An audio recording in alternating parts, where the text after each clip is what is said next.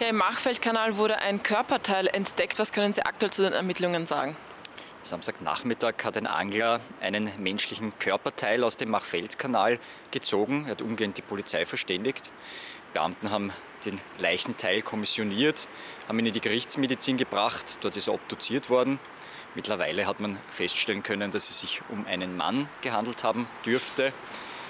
Im Zuge intensiver weiterer Suchaktionen sind bereits weitere Körperteile gefunden worden. Diese sind ebenfalls gesichert worden, in die Gerichtsmedizin gebracht worden. Sie werden obduziert. Aktuell fokussieren sich die Ermittlungen auf abgängige Personen und die Ermittler des Landeskriminalamts Wien ermitteln aktuell nach wie vor in alle Richtungen. Weiß man schon ein Alter des Mannes? Ein Alter des Mannes ist bislang noch nicht bekannt. Und äh, welche Körperteile wurden da gefunden?